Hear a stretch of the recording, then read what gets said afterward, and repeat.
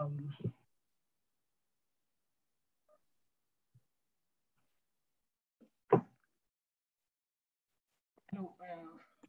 afternoon, uh, good morning, for those um, who are seeing us from Canada.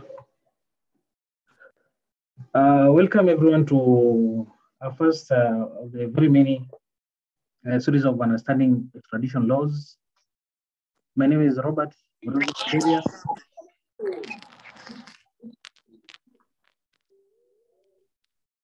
Um, first and foremost, uh, thank you to, to all our speakers who agreed to join us. Uh, take part in this, our first ever webinar, extradition. And uh, I'll introduce the speakers. First uh, Professor Robert Currie, uh, who is a transnational criminal law specialist uh, author of International Transnational Transnational Criminal Law Book 2010. I'll put the You are writing for my school. Mhm. You are writing the- for my that- school.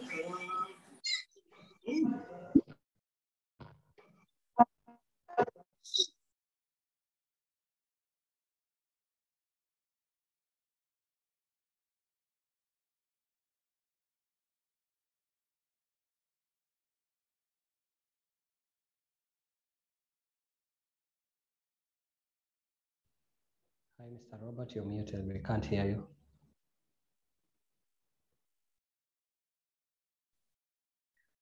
uh, sorry, yeah, yeah. Uh, for that, I wish to introduce our first speaker, who is uh, Professor Robert Currie, who is a transnational criminal law specialist and author of International and Transnational Criminal Law Book 2010. I'll put the description under the charts. Also, uh, is a nominee of Walter Owen Book Prize and a professor of law at Dalhousie University, Halifax, Nova Scotia, Canada. Uh, we also have uh, Wilson, Honorable Wilson Rading, who is a Young African Leader Initiative uh, Fellow and uh, representative of the Kenya Magistrate and Judges Commission, uh, Thika Region. He is joining. Um, uh, thirdly, we have uh, Catherine Mwaniki, who is currently joining. Yes, uh, we have Mwaniki, who is a Senior Assistant Director of Public Prosecution and of International Cooperation and Legal uh, Mutual Legal Assistance and Requests and Extradition. Uh, fourthly, we have uh, Honorable uh, Jesse Saruni, who is our very own, our chairman and president. Uh, we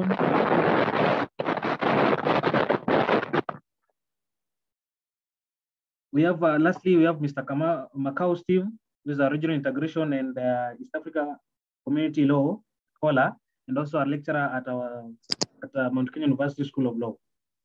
So welcome anyone, my, everyone. My name is Robert, and uh, our president, uh, Mr.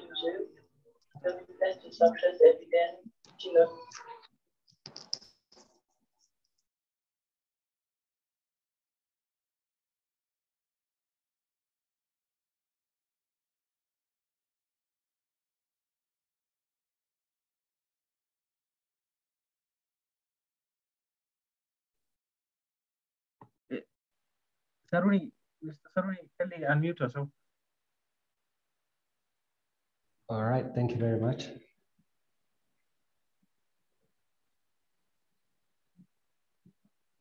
Uh, are you able to hear me, Mr. Robert? Yes, yes, we can hear you, sir.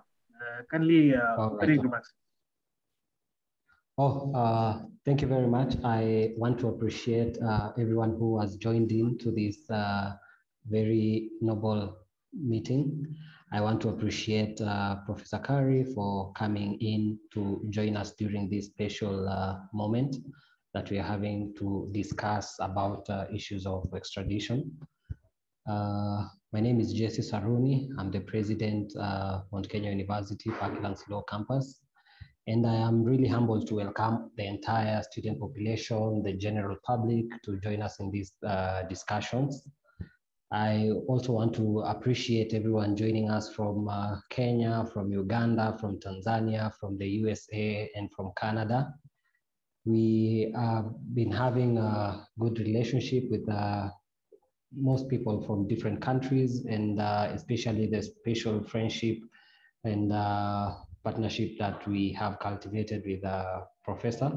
We want to appreciate that, and uh, even the people of Canada, uh, especially even with uh, between Mount Kenya University and uh, Dalhousie University. And I hope this is something that we can uh, proceed on with and cultivate it and make it uh, empower more, more people. I also want to thank the entire panelists for turning up today and uh, agreeing to take part in this uh, very noble initiative. This is the first volume and we hope to have several more and I hope that uh, we'll uh, still be available for the other sessions. And uh, tradition is a very unique topic that people really need to understand. We have in Kenya had issues of extradition, and it's only good that uh, people take time to understand issues of extradition. We saw the Akasha case, which was very prominent uh, some time back. And I really want to appreciate everyone and to uh, thank everyone for taking time to participate in this. And I'm hopeful that it will be very productive and we'll learn a lot. Thank you very much. Back to you, Chair. Yes, um, thank you for that. So uh, first, first and foremost, we went to start with uh, extradition laws, uh, the international perspective of how they view the, the international laws, the extradition laws. So um, I'll invite the first speaker, who is uh, Professor Kelly, Professor Robert Kelly, uh, to uh, take us through uh, what does extradition mean, what is the work and the purpose of extradition. Over to you, Professor. That's great. Thank you, Mr. Chair. Uh, can you hear me okay? Everyone able to hear me? Please let me know in the chat if you can't. Yes, yes, yes. So we can be able to hear you. Terrific. Uh, I just want to say a quick thank you uh, and and tell you what an honor it is to be uh, to be invited to participate in a great effort by a, by a wonderful university. I have actually been to Nairobi. I was uh, I was there to your fair city about seven years ago to do some training uh, with the media and students and with some uh, some honored guests from the Department of Public Prosecutions. So I'm delighted to to sort of be back in Kenya in a virtual way. And uh, I want to give a special thank you to Robert Mutiria, who reached out to me and, uh, and, and invited me to join this, this conference, with, this webinar, which I'm very happy to, uh, to be involved in. And Robert has been uh, a fearless organizer and um, a great uh, student to interact with. So I want to extend special thanks to him. Uh, I also am very pleased and honored to be speaking today with very eminent uh, speakers, uh, very distinguished people, and I know that I'm going to learn as much uh, about extradition uh, today as, as others are because there's so much uh, interesting that's happening in the African context. So let me set up quickly by answering Robert's question on a very on the very basics of what we're talking about, which is extradition. Extradition is the formal legal process by which an individual who is either wanted for a crime in one country or has been convicted for a crime in a country, uh, but has fled to another country. So it's the process by which the person is sent back, either to face prosecution or to uh, or to serve their sentence. And one uh, one bit of terminology I want to throw out right at the beginning because it will help uh, frame our discussion, I think, is that it's very useful to think of extradition cases as involving two countries, the requesting state and the requested state.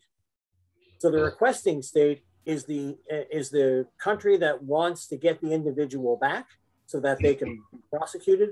And the requested state is the country where the individual is located and, uh, and, and is being asked to surrender that individual back to the requesting state. So we keep those two distinctions in mind. I think that will be, um, I think that will be very helpful. So important to remember that, uh, and I guess I'll finish my answer on this question here. Important to remember that extradition is a formal legal process. It usually involves uh, the courts as, as well as the government of, uh, of, of certainly of the requested state and often of the requesting state. So it is different from other kinds of processes that are involved with immigration law um, and, and maybe more informal processes. It's a very, uh, it's, a, it's, a, very formal process involving law on, on both sides. Maybe I'll, I'll, I'll conclude on that, Robert, and I'll, I'll uh, happily uh, take more questions.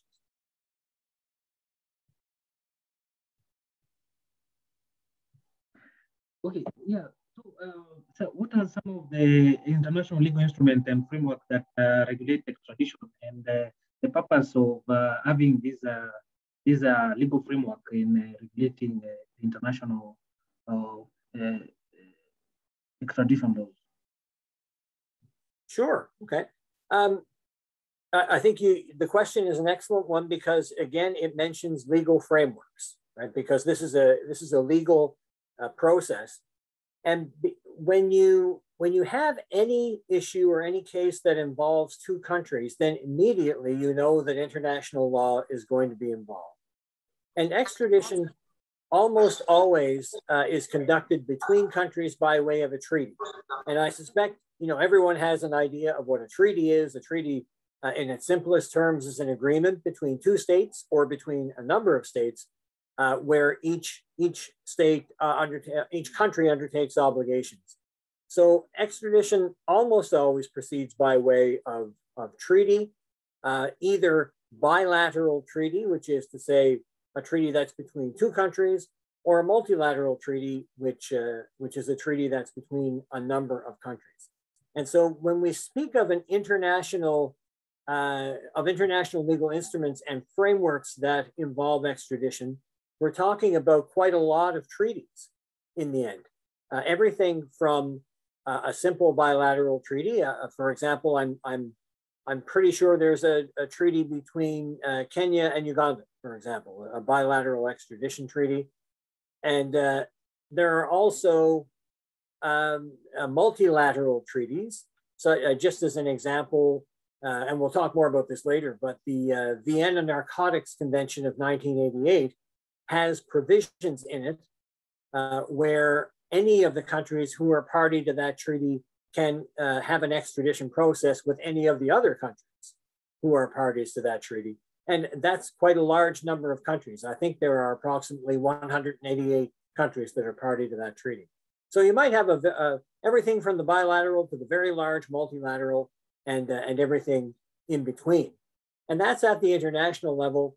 Then the legal framework at the domestic level, which is to say at the level of the country, is simply that every country has its own extradition laws. It's going to have a, a set of laws that, that uh, create and regulate the legal process uh, by which people are extradited from that country or which allow the government to request extradition from, uh, from a foreign country. So a way of summing it up would be to say that extradition legal frameworks are both, uh, they are at the international level, they're bilateral and multilateral by way of treaty.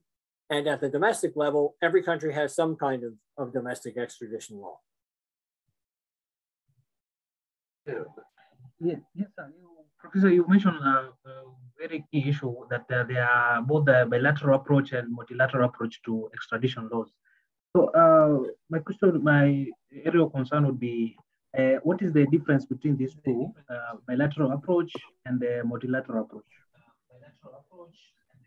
Sure. Um, I think a, a, good way to start here is to note, and, and I'm, you know, there are uh, people, uh, eminent speakers here who know a great deal about extradition law. So I don't, I don't pretend I'm the only person in the room who knows about these things, but um, most extradition is carried out by way of bilateral treaties. And bilateral treaties, of course, are treaties between two countries. And that's the case because uh, countries tend to be quite choosy about who they are going to, uh, which, which other countries they are going to have extradition relations with. Because a great deal can depend on the mutual opinion that the two countries have of each other. Uh, do they respect each other's legal processes, for example? Uh, do they have good foreign relations between them? So in, in any, any given country uh, might have bilateral treaties with maybe a small number of countries, maybe a large number.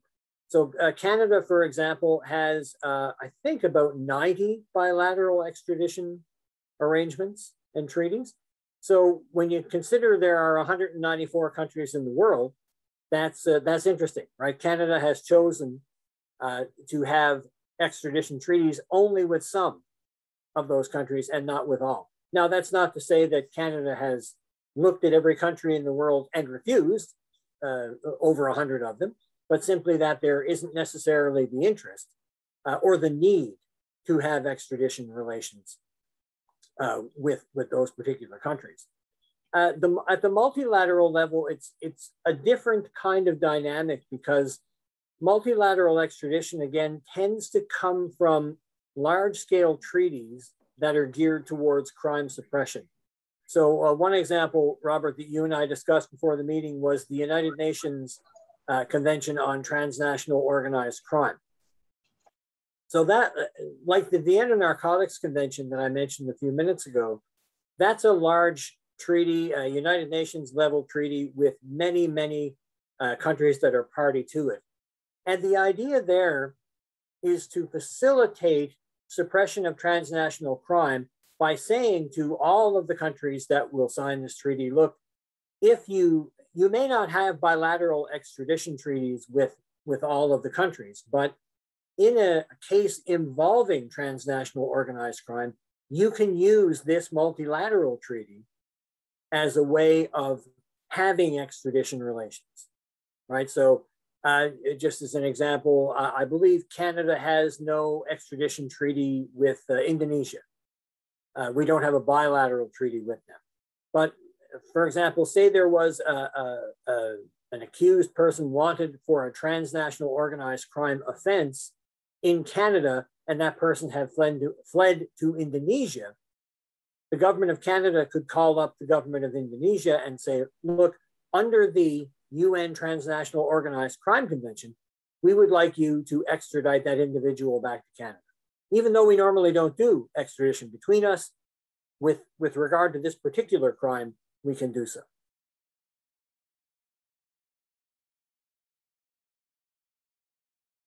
uh, aspect, uh, uh, the role, the, the extradition is also a role of uh, the court. So my uh, next um, issue I would want to ask is to Honorable Wilson Rading. Uh, what is the role of the court uh, when it comes to extradition uh, processes? Okay, let me just admit for a minute. Okay, first of all, I thank you, Robert, for having this meeting. I'm sorry that I've been able to come in late, but it's because I was experiencing uh, some technical issues and then I had to speak to a colleague to allow me to use her laptop. That's why my name is registered under her. Yes, you first have a very good question. You just asked about the role of the court uh, when it comes to extradition. And that is just basically the role that you have said yourself, because the court is the one to make a determination on whether the fugitive, uh, I'll use the name fugitive for now, if whether the fugitive is to be extradited. And for the court to make that decision, it will have to rely on all the parameters that have been set by the law. And of importance, I will mention that uh, we have a statute. We have a statute in place called the Extradition Contiguous and Foreign Countries Act. Apart from that, we also have the Extradition Commonwealth Countries Act, and uh, that is not the only scenario that exists for the court for purpose of extradition. Eh? Just like the way the speaker has said, Kenya has also entered into some treaties, some bilateral treaties on extradition And of importance, I'll mention that United Nations uh, Convention on, on Transnational Crime, because that also is a basis of extradition. So as soon as the application is, uh, is made to court uh, by the office of the DPP, the court just moves in to find out if the parameters have been met and we do, yeah, basically our work is to comply with the law. Yes, Robert. Uh-huh. Yes, Robert. Yes. So, uh, uh, what are the, the requirements now to surrender this person uh, to another country? Sorry, like the way I have said, eh? Yes.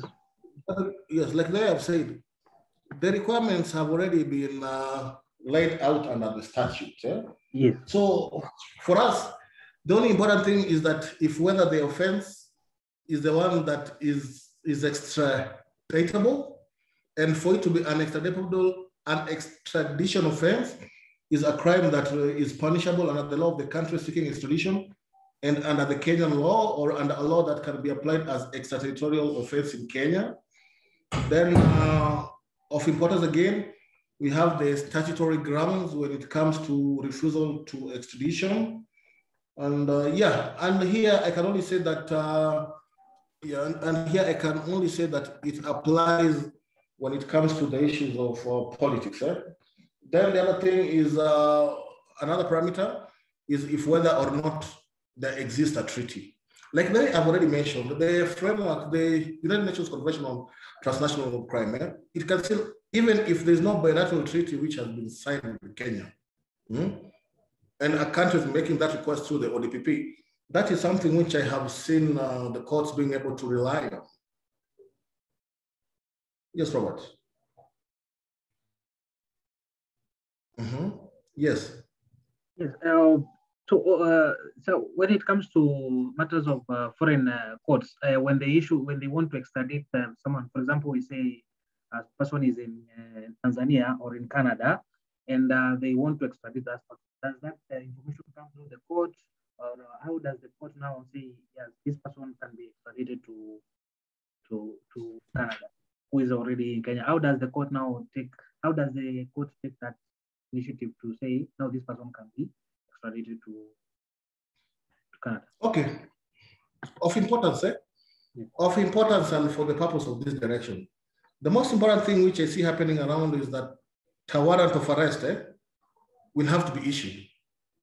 And then it is on the basis of that warrant of arrest that the Kenyan authorities will be acting on, eh? And then presenting that suspect before the courts. Yeah?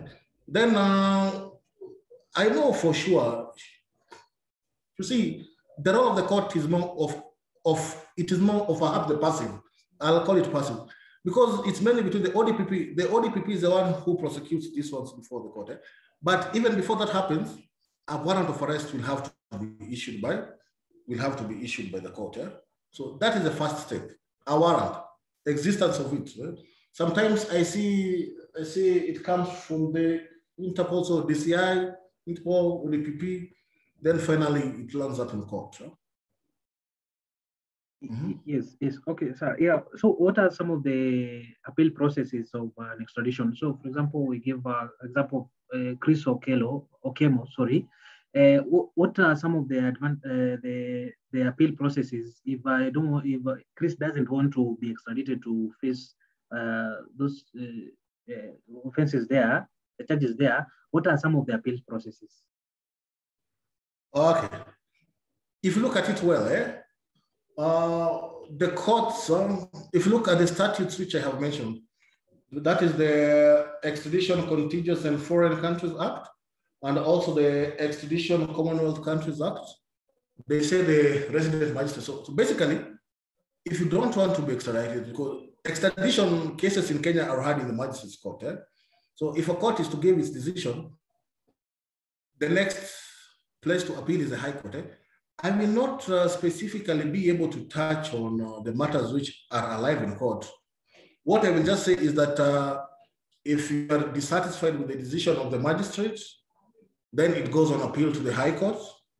Then from the High Court, of course, it will end up in the Court of Appeal. You see, all this time we're just tackling extradition. So far, I haven't seen, uh, I don't know, I don't know whether, I haven't seen any case in the Supreme Court which touches on extradition. But even be that as it may, it will be so curious uh, because I know sometimes extradition are matters of great public interest. Uh, and uh, it will also be able to, to set out the law for now. But as I'm telling you, now the appeal process is just to the High Court, then Court of Appeal. Okay. Mm. Too much. Yeah, so, so uh, what are your experiences uh, when it comes to extradition and uh, the difference between exchange of prisoners and extradition? Exchange of prisoners uh, and extradition. Um, I think at this time I will share my experience a bit on this issue. Sometimes back in 2016, was it 2016? Yes. Uh, I was fortunate enough that the yes that there is a treaty that Kenya was signing with China for the purpose of extradition and mutual legal assistance. I was invited to be part of the delegation and to be part of the meeting. Yeah, and uh, by experience, you see, when these things are to happen via a treaty, then the expectations are quite high. Yeah, yeah, the expectations are, are quite high, and uh, uh, Robert, just ask uh, if you can just if you can just be able to repeat the question again. Just repeat it again. There, sorry. I was asking uh, your experience um, when it comes to matters of extradition uh, and uh, the, uh, the, difference between extradition and um, of prisoners. Oh, okay. Extradition, as it has already been described, right? extradition uh, is more of a judicial process, so as to speak. Eh? But when it comes to an exchange of prisoners, exchange of prisoners can be done uh, via country to country. I'll go back to the one I was talking about, uh, Kenya versus China. Yeah? The Kenya versus China, we had hoped uh, beyond reproach that uh, we will be able to get our Kenyans who are uh, held up in Chinese uh, prisons, mainly because of drug trafficking offenses. Yeah? So, because at that time, it happened that we had some cyber criminals from Taiwan. I don't know if you know that experience. Cyber criminals from Taiwan also we thought maybe we could do an exchange, but clearly it uh, didn't happen. So the difference with extradition is that extradition is a is a judicial process. Yes, and exchange of prisoners is just that one is done bilaterally by the countries who are partners to an agreement. Oh, okay. Okay, sir. Uh, uh, back to you, Professor uh, Robert Carey. Uh, I, what are some of the cause of extradition?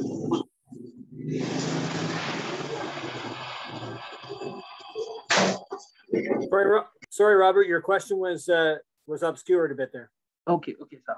Uh, what are some of the principles of extradition uh, as enshrined under the uh, the transnational criminal UN transnational United Nations. Sure. Yes, yes. Yeah, principles of extradition. Yes, absolutely. Um, so that you know, it's quite interesting how extradition arrangements and treaties throughout the world uh, use a lot of the same concepts and, and principles. Uh, the Transnational Organized Crime Convention is one, uh, but you really do see a, a, lot of things in common between the arrangements. Uh, one of them was already mentioned by the honorable judge, which is the principle of double criminality. And the idea there is simply uh, a country is not going to extradite an individual to a foreign country unless the crime that the individual is accused of is also uh, considered to be a crime in the requested uh, requested state, right? So it has to be a crime in, in both states, uh, so that you know countries are not asked to help in the criminal prosecution uh, of someone for for conduct that they don't consider to be a crime. So that, that's a big one. Um, there is a, a very common uh, principle in in uh, extradition treaties called the political offense exception, and the idea there is that uh, states will be able to legally refuse to extradite in a situation where the crime that the individual is accused of is a political offense of some kind. Now, different countries treat them, this idea of political offenses uh, differently, and there's a lot of texture there. But the idea is simply that the basic idea is that the requested state doesn't want to get involved in the internal politics of the requesting state. So, uh, for example, historically, it's not been unusual where there is a, a maybe a revolt of some kind or a, a coup d'etat, or even just a, a really nasty political contest in a country. One party comes out on top and then begins to prosecute uh, people who were from the other party. And those people flee to other states.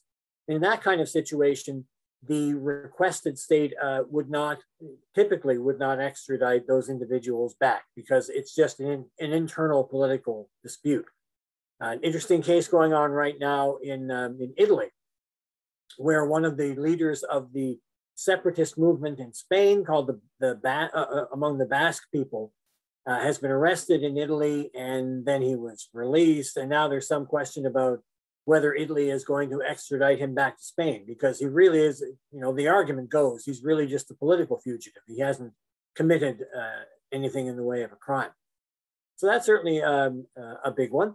Another important principle of extradition is the principle of specialty and or some kind, sometimes called speciality. The idea behind that principle is that if a state agrees to extradite an individual to be prosecuted in another state, they can only be prosecuted for the offense for which they're being extradited. And that allows the requested state to have control over, you know, over its choice to extradite the individual. So let me give you an example, uh, just to use Canada and, and, and Kenya. Uh, let's say that um, uh, there was a fugitive in Kenya whom Canada Canada wanted to prosecute for um, you know for robbery, and we asked Kenya to uh, to extradite the individual for robbery. Part of the agreement uh, on Canada's part would be that we can only prosecute the individual for robbery, because otherwise, you know, Kenya might go ahead in good faith extradite that individual to Canada, and then Canada uh, would prosecute him for any number of crimes and not just robbery. And that, that would be a breach by Canada of good faith uh, and of the principle of specialty in that, uh, in that example. So specialty is, uh, is an important one. States find it to be very important because, again, it allows them to, to, uh, to uphold their sovereignty and to have some control over the process. Uh, so those are some of the uh, major ones. You see other other features of extradition uh, treaties as well. Sometimes uh, countries are reluctant to extradite for taxation offenses or for military uh, offenses. Um, one that we have seen increasing in importance in recent years is human rights exceptions to extradition. So, for example, there are quite a number of states that will not extradite an individual if they are going to face the death penalty in the requesting state. So, in that kind of scenario, the requesting state uh, must guarantee the requested state that if the individual is extradited, they will not face the death penalty. Um, similarly, with torture, there are obligations in international human rights law and under the UN Torture Convention that uh, countries may not extradite people to face torture. So uh, an extradition request from a foreign state can be refused on that on that basis. So that, that's an overview of some of the, the major principles of extradition law. I hope that's that's useful in answering your question. Uh, yes, thank you very much. Uh, so uh, at this point, uh, if you have a question, you can just type it under the chat I'll ask uh, the questions later. Mr. Robert? Uh, yes, sir. Mr. Robert, there's some, uh, yeah, I think there's some exceptions I will need to add at this time, eh? Yes. Yeah, because if you look at the statute, eh, the statute is clear that if a person is being charged uh, because of his uh, gender, race, uh, religion, nationality, all those are, are the grounds for prohibition. Yeah. And also in a scenario, if the person has been uh, previously convicted or acquitted of an offense which they want to extradite, that is also a grounds for refusal. That's what I'd like to add at this time. Yes, uh, thank you very much. Honorable. Uh, so uh, we also would want to understand uh, the regional perspective uh, when it comes to East Africa and Africa. Um, Mr. Steve Makau, so what is uh, the, this understanding of uh, uh, extradition when it comes to the, Af the East African community? Because we also have a treaty, East African Community Treaty, and uh, the issues, the elements or the principles of extradition, how are they incorporated in uh, exchange of uh, offenders or fugitives around East Africa community and in Africa? Well, uh, uh, thank you. I don't know whether you can hear me. Yeah, we can hear you very well. Yeah, thank you, Robert, uh, for, for this moment. And uh, also, I want to thank uh, Professor for such a nice talk, which has come to us very loud and clear. Now, I would like to just mention something before I go to the East African, uh, rather the East African community, is, is, is the, the, the crimes, rather the offenses that are extraditable. You know, uh, the magistrates there are just, in a nutshell, uh, explained uh, some of these crimes, but I want to make it clear that it's not all crimes that have been committed that are, you know, extraditable. You know, some of them have been provided for under the the, the act, the the, the, the, extradition act, the, the, the Kenyan one, and that is murder, manslaughter, rape, and so forth and so forth. So it's not that you know somebody has been uh, or rather has committed a crime and then, then you are told okay you are now being extradited to another country. No, it's, it's not. It does not happen that way. Those offenses are, are well provided for under the uh, under the the act, the Extradition and Contiguous Act. Now, what is the procedure? The procedure. Somebody was asking me about the, the, the, procedure, the extradition procedure. How is it done? Who are the, the people involved? The magistrate has also not provided uh, a clear uh, a clear explanation on it, and I'm going to to provide it in a nutshell. In a nutshell. So number one, there is the application part. So there is the application part. The requesting state state makes an application to the requesting state on on on uh, what should uh, happen on how the the, the fugitive so to speak, uh, the fugitive criminal, how he should be arrested. And then the, there's also the liability bit of it. Um, how is he liable? Uh, is, you know, and that also should also be ascertained by by, by the, the minister responsible and also the magistrate. And also there's the issuance of uh, the warrant uh, towards the the, the, the the person, the, the accused person by the magistrate of that country, of this requested uh, country. And also now there is the hearing stage uh, and the evidence to be produced there. Uh, the, the, magistrate must sit down and uh, hear both sides, you know, the, the, accused, the advocates, the prosecutor also there, you know, he must listen to both sides. So again, there is now the committal stage. Uh, where now the, the, the, accused person is committed, rather also there is plea stage being asked whether you are guilty, not guilty, must plea. And also now, if he is found guilty, now again is he must be surrendered to the to the to the requesting state. I think that in, in a nutshell, that is a, the, the procedure that is followed. Now, uh, and I think I've answered that question. Uh, that question. Now, now when it comes to the to the EAC, to, to our region now, there is uh, actually not so much to celebrate because if you look at the, the, six countries, the, the, six member countries of, of, of, the community, there's actually no treaties, and even if they are there, they are very few, and even if and the few ones that are actually there, they uh, they don't touch on extradition, especially looking at the the, the EAC treaty and the other protocols, uh, you know, the, the common market and, and, so forth, they don't talk about uh, uh, extradition in, in, a, in, a, in, a, very in a very clear or straightforward manner. But specifically, the, the, countries, the, you know, Kenya, Rwanda, and so forth and so forth, Burundi, and so Sudan, they have their own extradition extradition laws. That is at the domestic level. But when it comes to the EAC community, there's nothing uh, worth uh, uh, popping the champagne the champagne bottle but but but again it's not all bloom and gloom it's not all bloom and gloom there's uh, actually there, there are talks that are going on there, there, there are talks between the, the, the community the, the presidents the head of states the, the, the dpp of you know the six countries are are talking to at least uh, uh, uh you know shed light on on, on extradition matters on uh, what should happen if somebody is, uh, you know, uh, found guilty in one of these six member countries, and what should happen, what what is the procedure, what is the legal procedure if it's supposed to be tried, it's supposed to be tried in in, in another in, in another country outside outside the region. So th that is it about EAC. It's not such it's not very very clear uh, uh, on what on, on matters extradition, the procedure, the laws, apart from now the domestic the domestic system on extradition. Thank you, Robert. Yes, uh, that's a very good uh, point brought uh, about uh, the domestic aspect of extradition.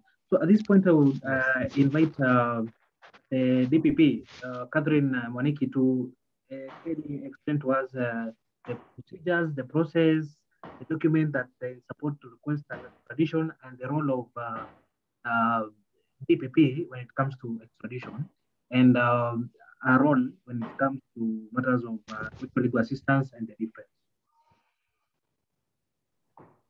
Thank you, Robert.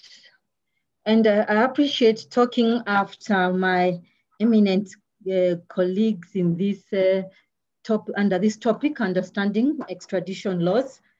And I'll pick it up from where they have left. Uh, Rob has explained properly what extradition is all about. And um, basically, uh, in Kenya, we have uh, the domestic legislations, and these are the two legislations that have been mentioned. That is the Extradition, Contiguous, and Foreign Countries Act. That is chapter 76, and we have the Extradition for Commonwealth Countries Act, uh, chapter 77.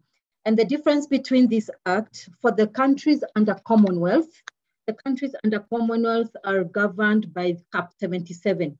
That's the Extradition uh, Commonwealth Countries Act. This is what governs the process of extradition for countries within the Commonwealth.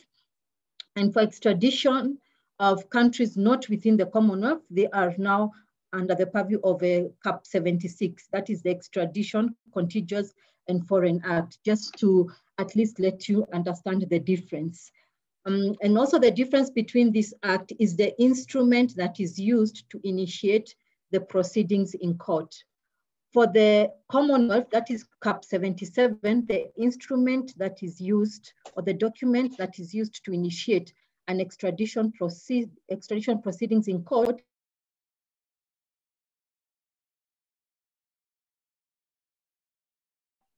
Uh, unmute, madam. Sorry, have you been listening? You, I hope I was not on mute throughout. No, no, no, a few seconds ago. Okay, so um, I've explained the difference between these two acts so that you can understand. One is for Commonwealth countries, the other one is for all other countries that do not fall within the Commonwealth. Um, for the instrument that is used to initiate uh, proce extradition proceedings in court under the Commonwealth Act, that is CAP 77, the document or instrument is usually referred to as authority to proceed. Under the Contiguous and Foreign Countries Act CAP 76, the instrument or document that is used to initiate uh, the proceedings in court is called an order. As rightfully said, those are, these two are the two domestic legislations that we have.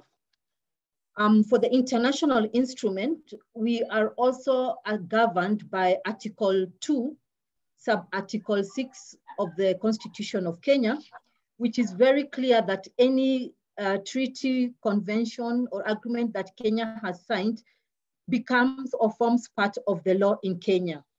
So um, we are then now guided by various uh, conventions, treaties, for instance, the one that has been mentioned, the United Nations Transnational Convention on Organized Crime. But it's important to note that that convention only governs offenses which are transnational.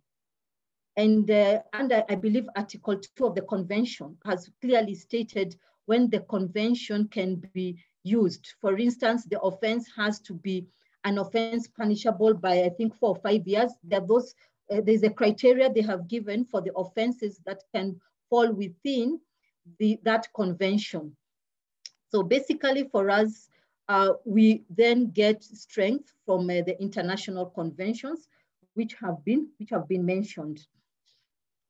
And uh, I will start now with extradition because in international cooperation, we have, as Rob has said, we have the formal, uh, the, the, the we have the formal cooperation, and that is basically the extradition, mutual legal assistance uh, requests, and uh, what has been touched on on transfer of prisoners.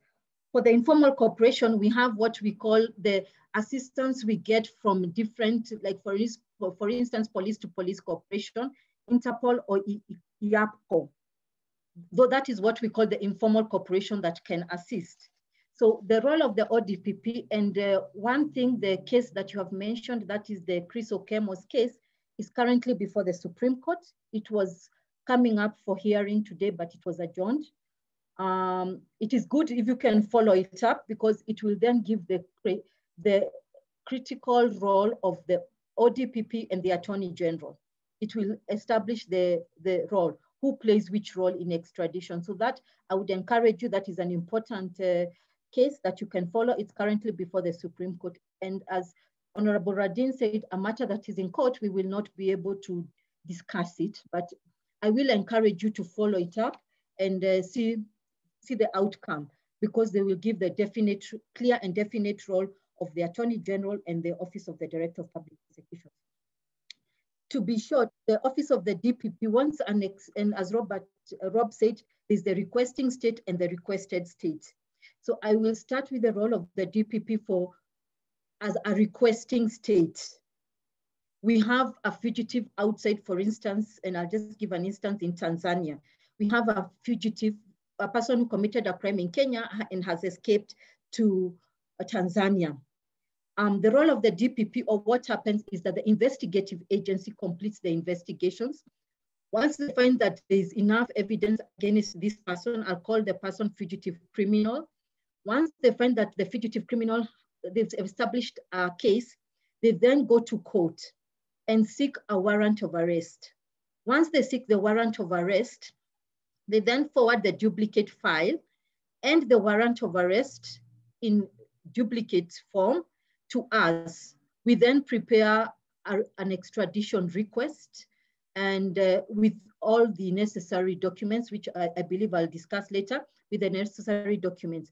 But once the DPP is satisfied that there is sufficient evidence against this fugitive criminal, and as Rob said, or as we know, extradition are treaty-based. Once we find that we have a treaty agreement with the, a certain country, we then prepare the agreement and uh, once we, and the only person authorized to sign the agreement, the extradition agreement is the Director of Public Prosecutions, not even I who is the head. It's only the Director of Public Prosecutions who can sign that document. Because in that document, we must authenticate that, the DPP must authenticate that warrant of arrest, that that warrant of arrest is a genuine document, the signature belongs to that specific magistrate. We then forward the request to the Attorney General, who then forwards to the, to the respective uh, country. But for Commonwealth countries, we have what we call the Harare scheme or the London scheme of extradition. So all countries that fall within the Commonwealth, we hold the strength on that uh, treaty. That even though we have not signed a treaty, an extradition treaty with Tanzania, and Tanzania is a Commonwealth country, we then get support from that treaty because as we said, uh, extradition are treaty-based. For Commonwealth countries, they are safe under that London scheme or what is called the Harare scheme. So for the other countries, we must establish that there is a treaty. These are Kenya being the requesting state. And then we wait for the respective country, for instance, Tanzania, to do what they have to do. And uh, when they tell us that they have gotten orders, we then go and uh, pick our, our fugitive uh, criminal in the respective country for requesting um, um, extraditions from, we, no, we become the requested state where countries are requesting us, they usually pass through the diplomatic channels. And the diplomatic channels, it means they're passing through the Ministry of Foreign Affairs. From the Ministry of Foreign Affairs, they're channeled to the Attorney General. From the Attorney General, they then come to us. Um, once DPP is satisfied that one, there is what we call the double criminality, double criminality, that the offense that has been committed in that country is similar in nature to an offense that has been committed in Kenya. And it doesn't have to be in the same words, but the basically the acts are similar. So once we confirm that, and we confirm that there is no, it's not politically, uh, it's not, it has nothing to do with politics, or it's not, uh, it's not of political nature. Um, and uh, we then establish that the fugitive criminal is in Kenya because that is then how we use our investigative agencies because we can't initiate an extradition proceeding if we do not have or understand or get to know that the fugitive is in Kenya. Once we get to know that the fugitive is in Kenya and we are satisfied that the request has met our threshold, what we do, uh, DPP signs either what I have said, the authority to proceed for Commonwealth countries, and for non-Commonwealth countries, we sign what we call an order. The order then is filed in court with an affidavit requesting for a warrant or of arrest because we have to do what we call reciprocal backing of warrants. As much as we have received a warrant of arrest from that respective, respective country, we must come and what we call reciprocal backing of warrants. So uh, we then make an application in court and ask for the Kenyan court, the courts in Kenya, to issue a warrant of arrest. Once they issue the warrant of arrest, uh, once they issue the warrant of arrest, we then, the warrant of arrest is then addressed to the investigative agency, for instance, the Directorate of Criminal Investigations. They then arrest the person. Robert, I will just go through everything, then you'll see what else needs to be added. Once we get, once the DCI arrests the person, he's then availed in court. Once he's availed in court, we then now present our extradition documents. But the, mainly the first thing what happens is arguments of bail, whether he should be released on bail pending the hearing of the extradition proceedings. Once that is done, we then now get an opportunity to canvass our application before the court. And basically we'll be telling the court that we have met, uh, there's a legal basis for the extradition, and that is basically uh, treaty-based. Um, there is an ex it is an extraditable crime, and uh, basically this uh, extradition does not fall within what we call the restrictions on surrender. So our role basically is to satisfy the court. Then the court, then the, the fugitive criminal will have an opportunity to uh, represent himself and advance his uh, reasons for or against for or uh, against his uh, extra, extradition to respective country. Then uh, basically the court makes a ruling. And uh, again, if the ruling is in our favor, we have 14 days. You're not extradited immediately. We have a window period of 14 days. Within the 14 days period, the fugitive criminal should have gone to the High Court in the nature of a habeas corpus. In the nature of a habeas corpus.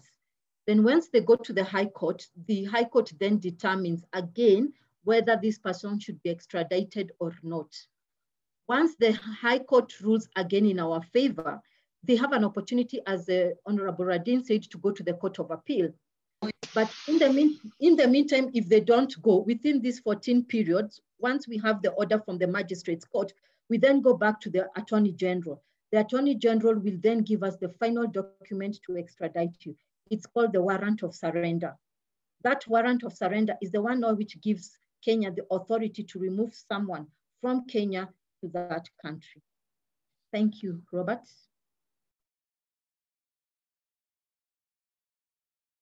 Thank you, Robert. Yes, yes. Oh, thank you very much, uh, Madam ODPP.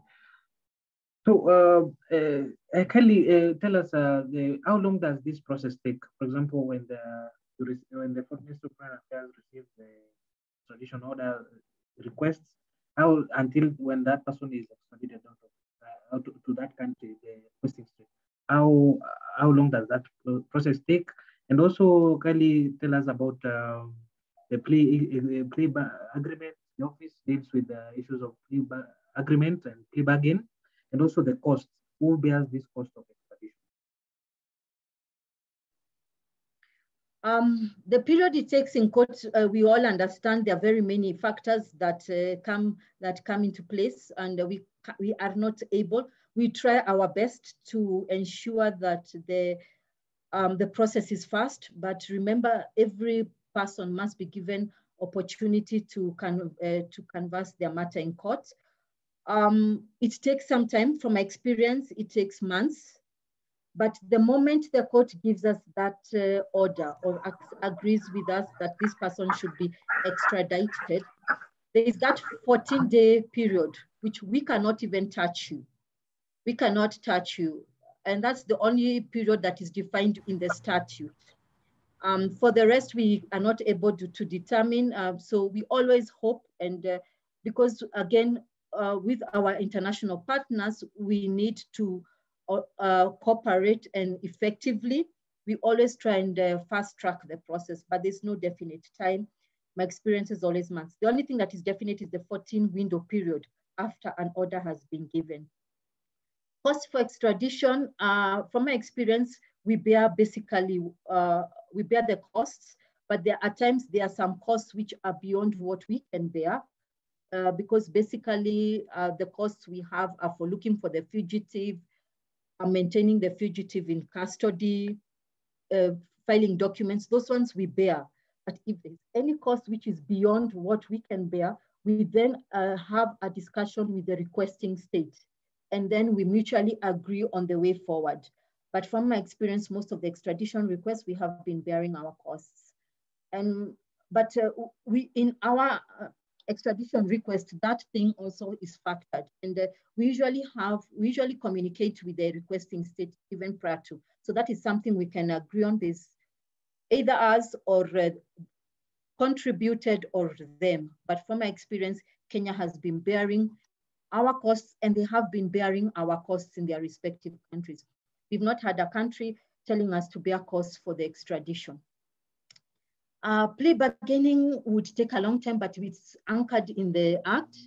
Um, when someone has been charged with an offense, uh, we and the person is willing to come and uh, plea bargain, um, there is a, an a document in which you enter into an agreement with an accused person. And then, then basically, if he accepts, uh, we then file the document in court. And basically it is for the accused person to plead guilty to either the offense or a lesser offense. And then uh, uh, basically, but when it comes to plea bargaining for sentencing is not our domain. That is the sole domain of the judiciary. So for us, it's basically to enter into an accused person approaches us and tells us that he wishes to enter into a plea uh, bargaining and wants to plead guilty to a specific offense or a lesser offense for instance, in murder, he wants to plead guilty to manslaughter. And we feel that uh, we are satisfied that what he did could be of a lesser offense.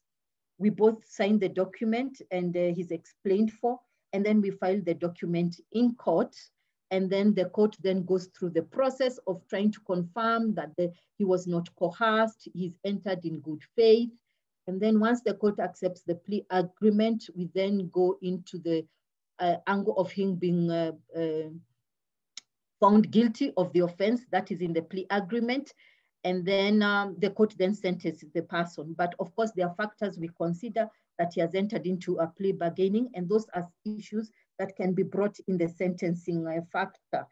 And uh, basically, whatever we have uh, agreed in the plea agreement, if the we find that the accused person has lied, the plea agreement can be set aside and he will be charged with the initial offense. And uh, basically, we can never use the plea agreement against the uh, accused person if he ever decides at one point to step away from the plea agreement. It's a topic I believe would take a whole day to discuss, but I, I believe that would be for now. Thank you uh, very much, madam. So, uh, Leslie, the last question, and uh, from your office, how what are some of the examples of uh, high-profile cases that your office has dealt with uh, when it comes to extradition? Uh, what are some of the people we know? We remember the Akasha brothers, uh. So, what are some of the high-profile cases? And do you have like a statistic data of how many people are extradited annually out of Kenya? Okay, um, the, the last one we had, which we went to court for us was a, a success case. And especially because we were trying to do and invoke Article 2, Article 2 of the Constitution that any convention or agreement that we have signed has formed part of the law is one case of Mansour Mohammed Sar, alias Mansour. I can send you even the judgment. Um, he was uh, charged with various offenses, uh, from wildlife to narcotics, and uh, he was wanted by and indicted by the United States of America. And uh, we successfully managed to indict him, and he's currently facing uh, uh, the indictment of the charges in the United States. So he's currently in the United States. This happened last year, 2020. That's our recent one. We have had also another one uh, currently, but I don't remember the full names, but he's called Rage. Again, he was wanted in the United States for the offense of uh, wire fraud. Um, most of our cases have, have been put on hold because of what we said this matter in the Supreme Court, uh, which actually is touching on Commonwealth countries. And uh, basically because it was a request from a Commonwealth country, and it's basically touching on the role of uh, the Attorney General and the DPP who is to initiate. So most cases are pending in court. Uh, we we are just mentioning them there. So you, you can notice from the year 2018, 2019 to to date, we've not really uh, progressed much because of that, but we are hoping that the issue will be finalized in the Supreme Court, then we can go about it. And um, another classic case was this one for the Tanzanian, the gold. And uh, basically one of the fugitives was also wanted for having, uh, with large sums of money in Kenya, um, we returned them, we managed to return the money back to Tanzania. And um, we've also repatriated someone to Tanzania. So um, within this short period, we've not really done much, but uh, we are waiting once the Supreme Court matter is determined, there'll be a floodgate of them, and uh, as we'll be finalizing most of them in court. Thank you very much, madam. So uh, you brought up an aspect of uh, political offense is not an extraditable offense. So uh, I also Professor Robert Currie talked about uh, human rights uh, touches on uh, issues of extradition. My question would be go to uh, Justice Harun, who is an expert in refugee law. So uh, what are some, uh, when a refugee seeks uh, extradition, uh, sorry, asylum seeker, so sorry, asylum seeker goes, well, he has committed, for example, a case of Ezekiel Okemo, sorry, Ezekiel Ochuka, who during 1982, during the coup, went to uh, Tanzania for, for refuge. So uh, how do you relate the human rights aspects and the, non-refoulement uh, back to country where he's running from? the question goes to Justice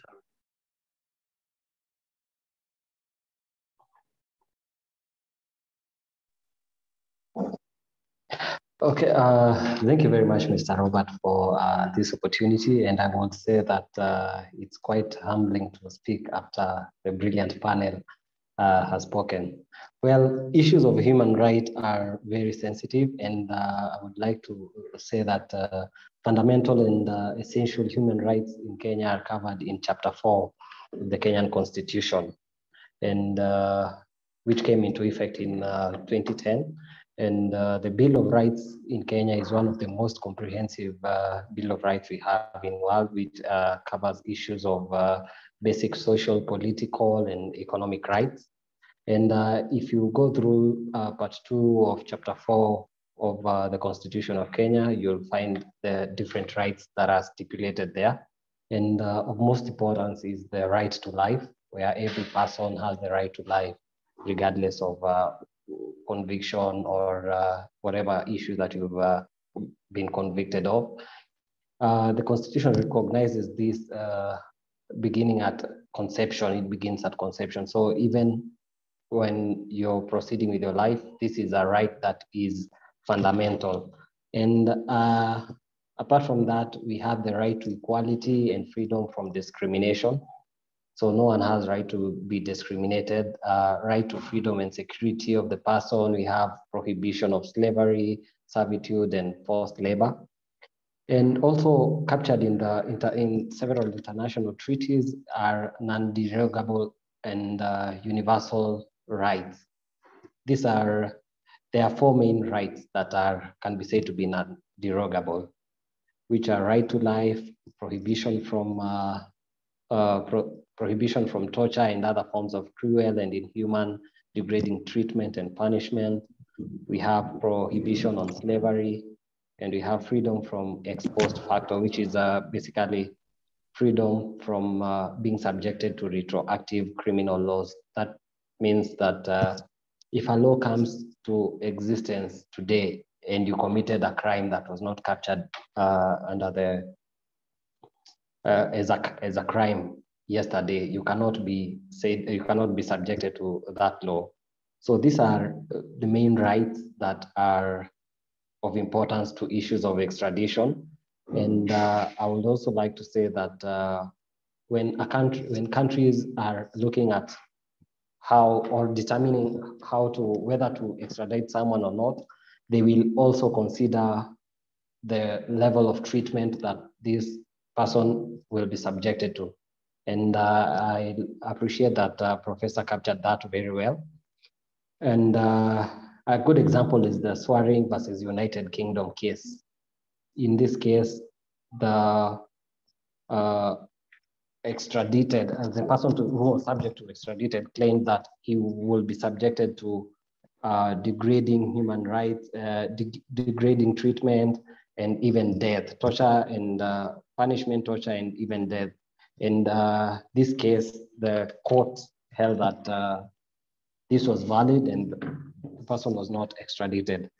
Um, extradition has a lot of issues that have direct relation with issues of politics.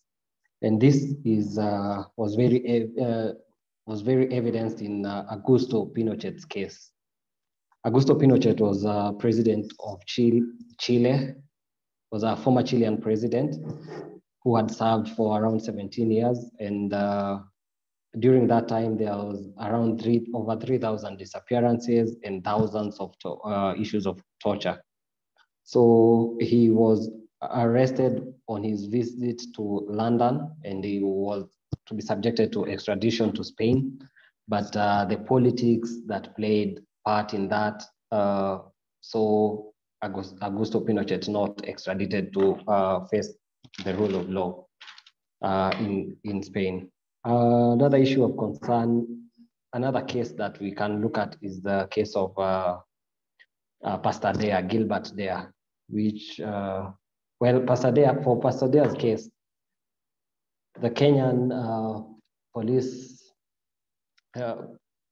issued a warrant of arrest for Gilbert Deya for child trafficking and yeah, because he, he used to run a ministry that said that Pastor Deya had the power to help barren women to give birth. So working with, together with the wife, they would steal children and uh, have them uh, transferred or trafficked to uh, other countries. And uh, he would appear to be blessing those women through prayers and uh, helping them to get babies. So he applied in London not to be extradited. And he claimed that uh, if he was extradited to Kenya, he would face death sentence and even uh, degrading and inhuman treatment. But uh, in 2011, in 2011, the, he, after he had exploited all the channels of appeal, uh, Pastor Deya was extradited to Kenya and uh, I'm certain his case is still ongoing His case on uh, child trafficking is still ongoing in our, in our Kenyan courts. Um, so another, another case is the one that you mentioned of the Akasha, Akasha brothers, the Baktash and Ibrahim, who were extradited uh, to, the DE, uh, to the US through the DEA for conspiring to smuggle 98 kilograms of uh, heroin to the US. And uh, this is one of the success that we can see. So, uh, Mr. Robert, I will say that uh, even when someone is subjected to extradition, there are some rights that they are they are entitled to. Those are the main rights are the right to life, prohibition from torture, and uh, other forms of cruel and inhuman treatment, prohibition from uh, slavery, and not to be subjected from laws that are inexistent at the time. Thank you very much. Back to you, Chair.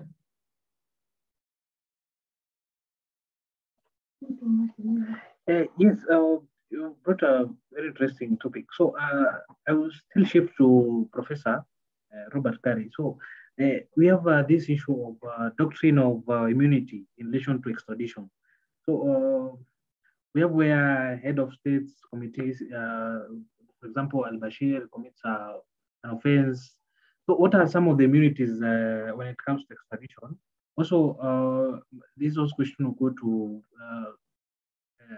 Makau State. the issue of uh, extradition in terms of immunity when it comes to East African community. First, uh, Professor. Thank you, Robert. Yeah, immunity is a very interesting um, issue in this uh, in this setting, and immunity is a is a larger legal concept. I think your um, I think uh, our audience today will will have some understanding that uh, there are situations where people cannot be prosecuted, uh, not because their crimes, not because their alleged conduct is not criminal, but because the nature of their position is such that um, that they can't be uh, can't be prosecuted by the by the state at that particular time.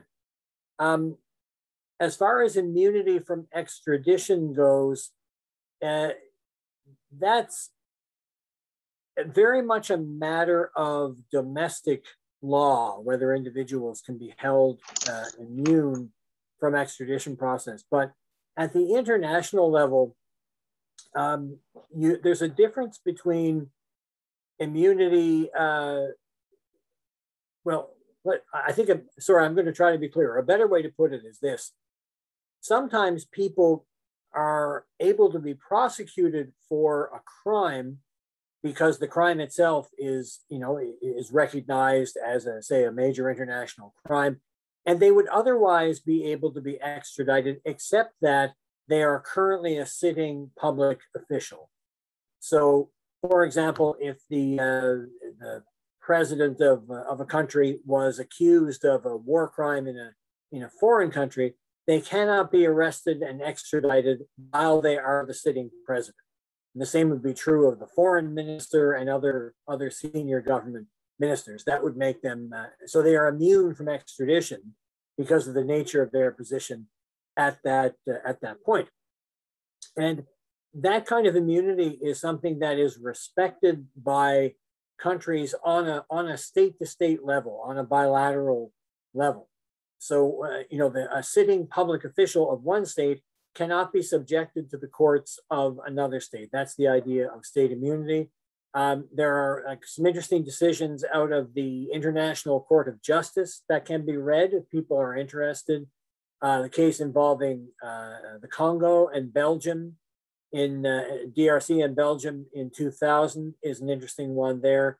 And also the Italy versus Germany case, which is uh, it's a bit later, I think 2015. Um, and and that you know that, that's the idea. There are certain immunities that, that attach to people not because of their personal status but because of the nature of their position uh, in government.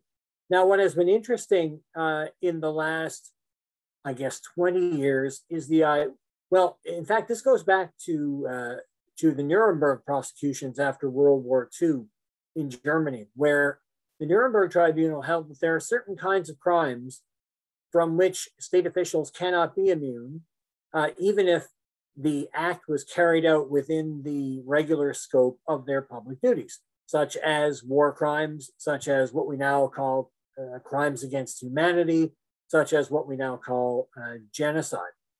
So that, there's an interesting uh, distinction there then that's made between uh, substantive immunity and functional immunity.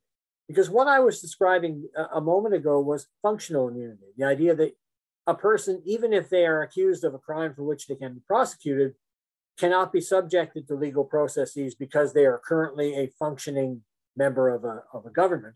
Whereas the substantive immunity, the idea uh, after Nuremberg was uh, if a state official orders or, or even commits horrible crimes uh, to be perpetrated upon either foreign armies, uh, foreign citizens, or even their own citizens, they're not immune from prosecution for the crime, but they are immune from arrest and immune from prosecution until they stop being a sitting official. So that's how, you know, th- that's an important piece of the state to state enterprise. Now, in the last 20 years, with the, um, the advent of the International Criminal Court, and uh, even before that, with the Yugoslavia and Rwanda tribunals, uh, there was another, uh, uh another stroke uh, played for justice here in that if the offense is being tried by an international tribunal, there is a possibility that uh, that the individual can be indicted and can even possibly be prosecuted, even though they are still a sitting state official. So while one country's courts could not try a foreign uh, a foreign state official while he or she is still a government official, an international court in some circumstances can, and that of course is where um, is where we saw the the indictment issued by the International Criminal Court for President al Bashir uh, that was a you know that was an unusual thing, right? Because the, the gentleman, of course, was the sitting president of the uh, of the country at that point. But the International Criminal Court asserted asserted the authority to charge him, to indict him, nonetheless. So that was quite unusual. But that that precedent went back to the Yugoslavia Tribunal, which also indicted the sitting president of uh, of Serbia at the time. So extradition plays into all of these issues in various ways, as you will as you can see. It uh, just to sum up, it begins with is the individual immune from the particular act because it was uh, an act of government? Uh, if they are not, if, if it wasn't, then they may be prosecuted for the crime, but they may be immune from being extradited until they stop being a sitting uh, public official. I hope that's I hope that's helpful and, and answers your question, Robert. Yes. Uh, so uh, when it comes to the development of uh, jurisprudence uh, in matters of extradition, uh, in particular the Versailles Treaty and the role of uh, the Netherlands and the US to refuse extradition. So what is the international development of the jurisprudence on extradition? I just missed the last part, Robert. Sorry, what's the international the, international jurisprudence or uh, when it comes to the developed jurisprudence on, uh, extradition. Yeah, so that's so interesting because um, most of the of the case law having to do with extradition is is domestic cases, and and we have, have heard from uh, from the honored judge and from the uh, the uh, distinguished lawyer from the DPP and, and the other speakers about about extradition cases that go on. You know, Kenya has extradition cases, Canada, the US, Britain, Japan.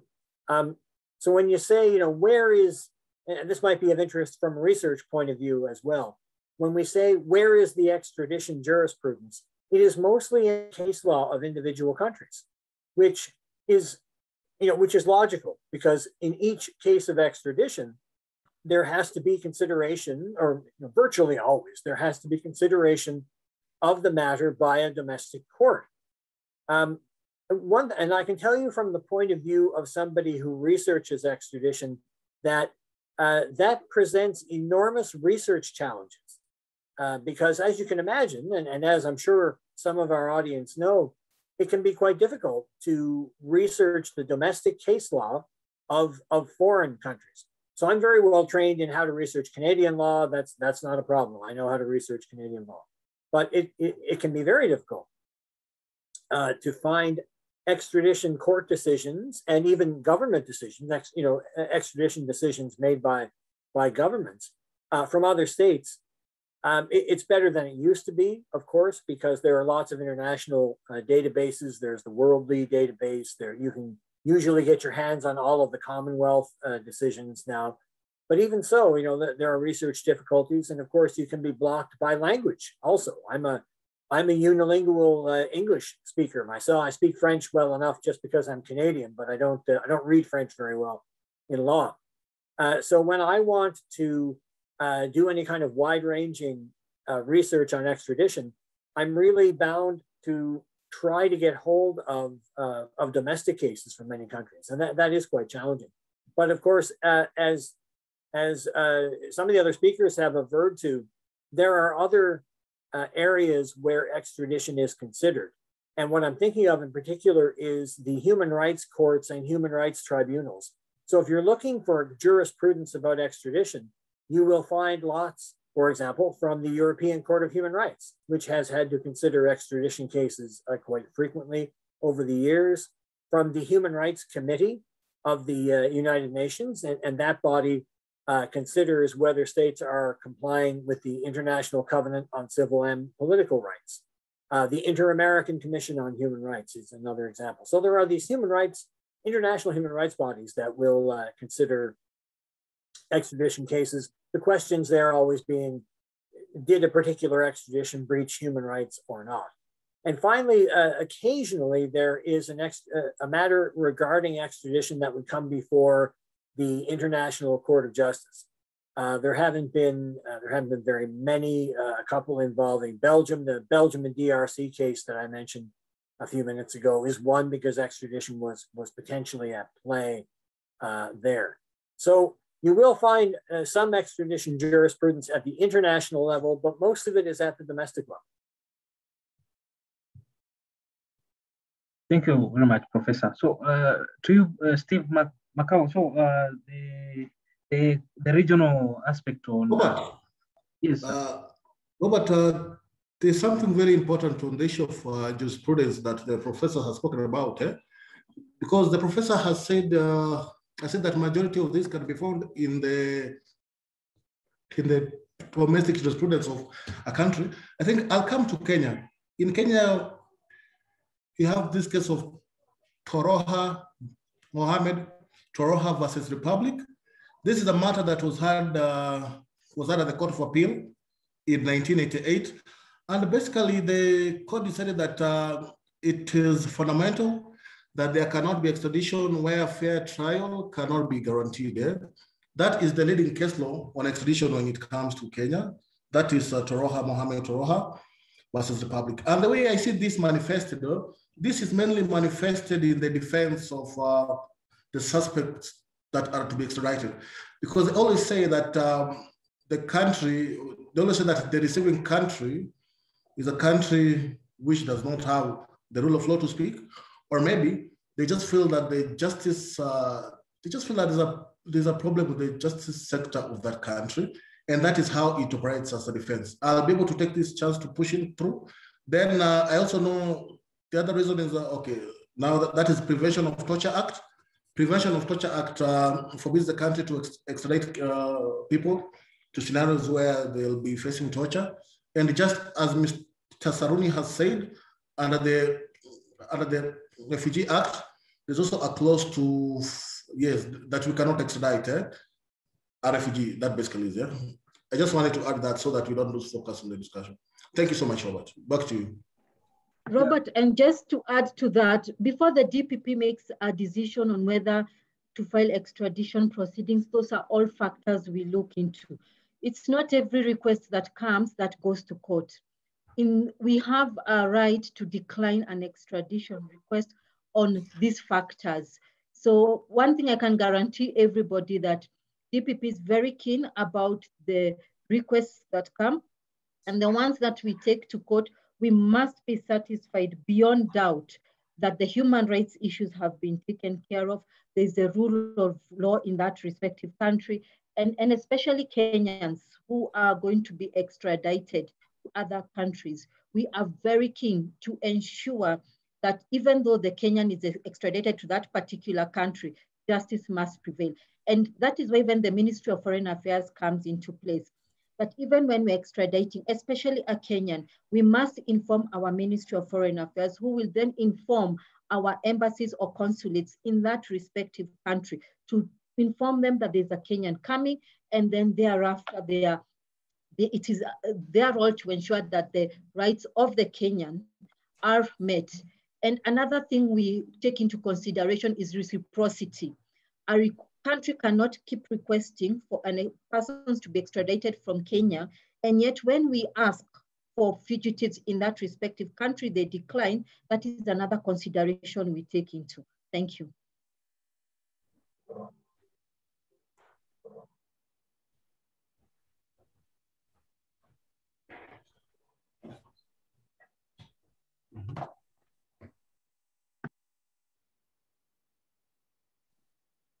Thank you. Uh, to uh, Mr. Steve Makau. So, uh, what are uh, the defenses to extradition? Uh, when it comes to extradition, when you're representing a client who is uh, who, who is extradited, what are some of the defenses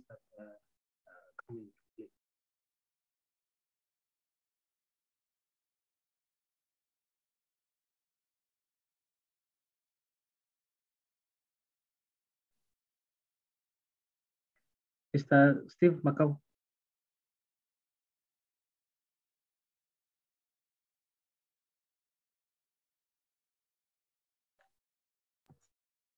Uh, I think there's a problem with the connection of Mr. Makau. Yes. Perhaps if you can just uh, if, if you can just allow me to give you the kind of challenges that arise when uh, uh, when these issues are presented to court.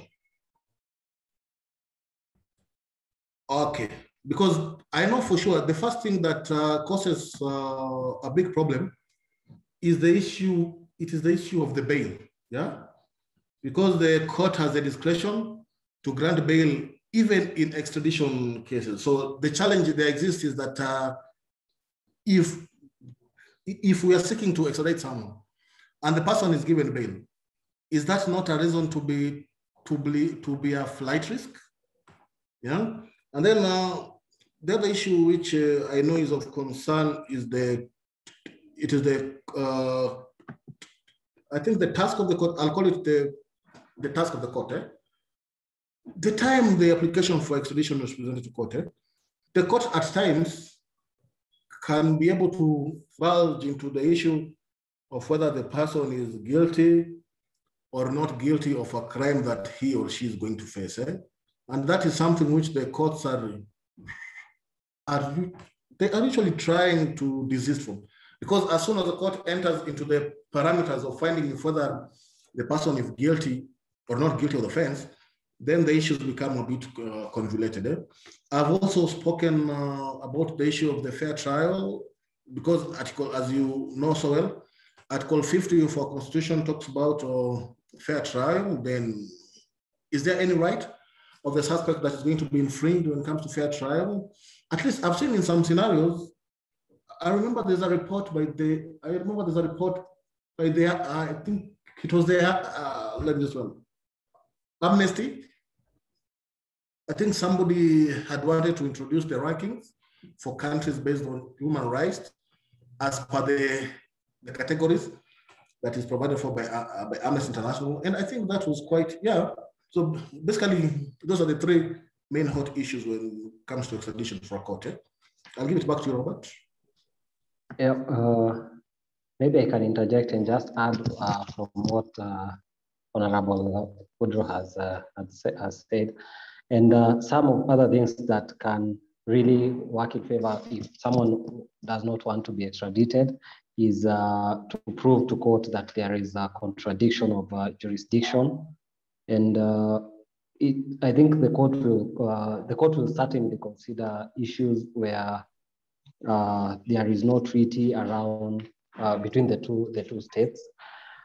Uh, so contradiction in conflict in laws, that is something that the courts will look at. Again, is the lack of criminality. If uh, the crime that you are requesting to be, the requesting state is uh, claiming the person has committed is not a, cri a criminal offense in the uh, country where the person is. The other is uh, political protection, because uh, extradition is a very political affair, and uh, some people may receive political protection. And uh, yeah, there, I think the last one I would say is the issues of human rights violation. If you can be able to prove to court that your human rights will be violated if you're extradited to a different state, that is something that the court will uh, really consider. Back to you, Chair. Yes, thank you very much. Uh, the, I've learned a lot myself as a researcher in, when it comes to matter of extradition. I I've, I've learned a lot, a lot from this. I'll, I'll go to the question and answer section. Uh, I told people to send their questions. I can see uh, Mr. Rahil. The, the hand is up. Mean, proceed and uh, kindly ask your Yes, uh, good afternoon. I hope I'm audible. yes. Yes, my question is directed to Ms. Catherine Mwaniki, the ODPP. I've been having a challenge really trying to reconcile the, the applicable parts in the Contiguous Act, CAP 76. You notice under the Act, there's a part two, and then there's part three. The part two is meant to apply specifically to countries that are stated, yeah, like the, to certain specific countries that have been, uh, you know, uh, outlined by the AG in an order. And part three is also to apply to specific countries.